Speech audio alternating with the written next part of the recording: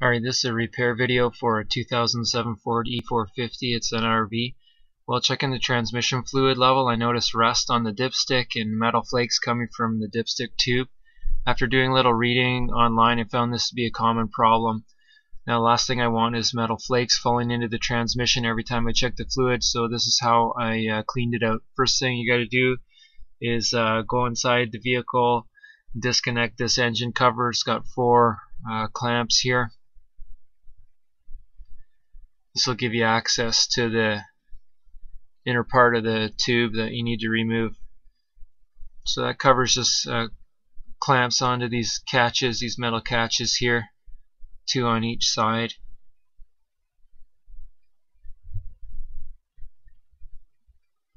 And then you can see uh, in here where the upper tube you know, mounts into the the lower tube. There's just an O-ring. It just presses in to fit. So to get that out, we need to remove uh, two 10 millimeter nuts.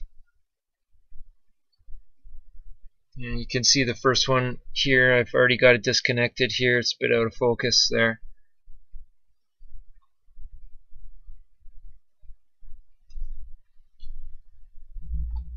And the second one is uh, down there. It's best uh, to get at it from the other side. So back under the hood there, the nut actually is, you can see it down there just on the right. Uh, it'd be pretty hard to get at without removing the air cleaner. So the air cleaner is really easy. Just remove this clamp there and there's two little plastic clips and you should be able to just pop that out without any tools. And setting that aside, you should be able to reach into that 10 millimeter nut see if I can show you exactly where that is here.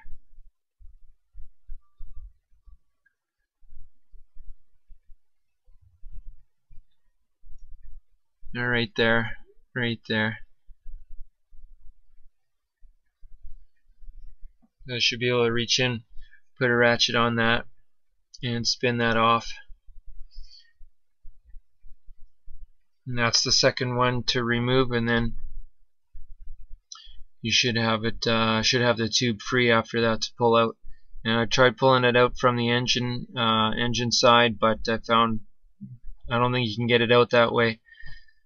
So back from the inside of the vehicle uh, you should be able to pop that upper tube out from the lower tube there.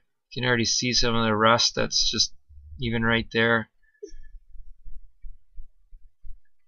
And then there's one electrical connector that you need to remove this is a little thumb tab you need to depress and you should be able to pull that apart. You can see that thumb uh, tab there is just on the lower the lower piece of that electrical connector. And with that out of the way, you should be able to just rotate the tube uh, clockwise, bring that bottom part up towards yourself, and then you should be able to thread the tube out uh, from the engine there. There you go.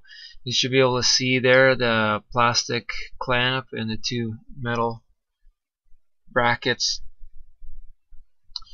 So now I want to show you uh, what, what I went to all this trouble for.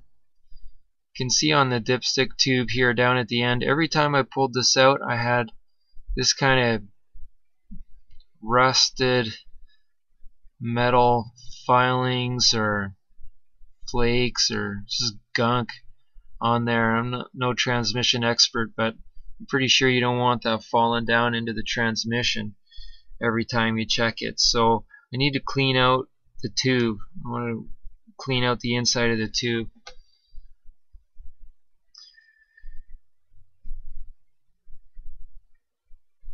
You can see I also had about 3 inches of rust on the dipstick itself. So just spray the whole tube down with some uh, WD-40. Get some steel wool and wipe that down just to clean up clean off the dipstick there. Now that that's clean, uh, I'm going to pass it through the dipstick tube again. Just see if I can show you a little more clearly what I was picking up.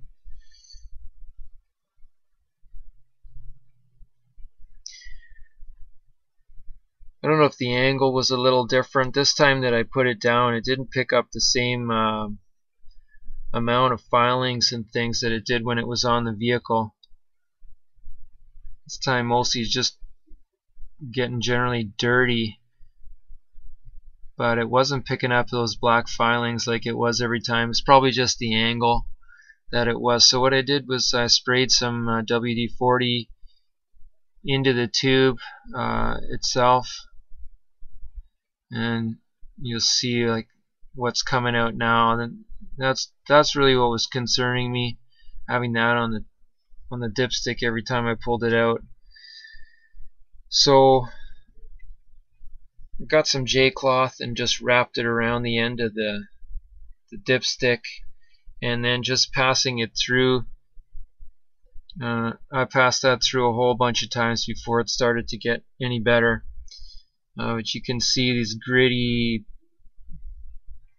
pieces of metal that are just hanging out in the dipstick tube. So just wrap that up and keep on uh, pushing that through there.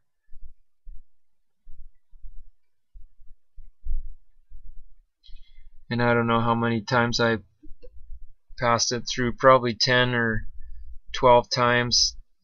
Just kept on rewrapping it and it got cleaner every time but thing is I don't know why that stuff's forming in there whether there's uh it's not a good seal at the top of the dipstick tube there and condensation is forming and it's rusting the interior.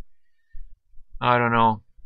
Anyways uh, once that's clean putting it back in is real simple. Just put those 10 millimeter nuts back on electrical connector back together and you can see uh, made a huge difference coming out. I don't have anything on that except fluid, which is really what you'd expect. Uh, so anyways, if you have the same problem, hope this video helps you out on, on uh, what you can do about it.